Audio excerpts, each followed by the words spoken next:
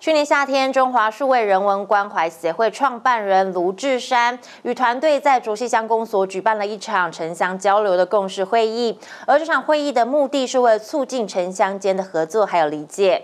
非常幸运的是，春日国小成功媒合了台北市文山区的景兴国小，成为今年城乡共学的好伙伴。透过六天五夜的参访部落学校，让都市的学生们跳出舒适圈，体验部落的生活，还有学校的特色课程。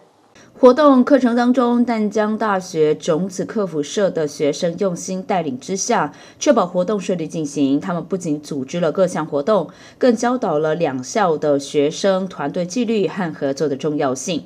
透过这样的引领，学生们在活动中培养了更多的团队合作精神。这是玉里春日国小以及台北的景兴国小两校的城乡共学活动。每一个人生都会有结束的时候，对不对？所以呢，小朋友切记啊，在我们的人生目标里面，我们每一个阶段呢都有我们学习的目标。要记得，我们在参与这样一个活动或是任务的时候，我们到底在这个活动里面我们学到了什么？这个是非常重要情。春日国小校长陈少山表示，城乡共学最主要的意义在于不同环境与文化的背景下，两校的学生透过彼此间的交流，互相理解、尊重与包容，达成共学共进的目标。他会走了，看到你用都在发抖。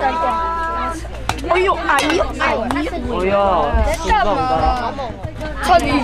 城乡共学的主轴是让景兴的孩子深入体验部落真实的生活与文化。